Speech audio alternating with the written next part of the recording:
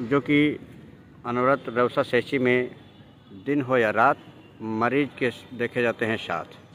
Doctor साहब, अभी थाना रवसा क्षेत्र के ग्राम बरौली का मामला है, जहाँ पर एक डेढ़ दो साल का बच्चा घर में खेलते खेलते कोई कीटनाशक दवाई का सेवन कर लिया और उसको आपके वहाँ लाया गया था। उसका पिता संदीप दीक्षित, वो थाना थान गाँव थाने में होमगार्ड के पद पर तैनात है।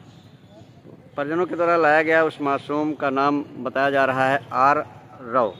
आर आर रो हाँ। और उसके हालात कैसे रहे? काफ़ी आपके द्वारा इलाज करने के बाद वो ठीक हो गया। जब उसको देख लिया कि ठीक है तो उसको घर भेज दिया। उसको घर भेज दिया गया। मतलब हालात में सुधार है। सुधार सुधार बिल्कुल ठीक है बच्चा।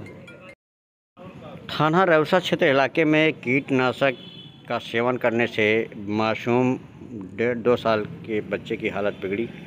परिजनों के द्वारा राया गया रवसा सेची जहाँ पर इलाज जारी। पिता उसके थाना थान गाँव में होमगार्ड के पद पर संदीप दीक्षित तैनात हैं। उनका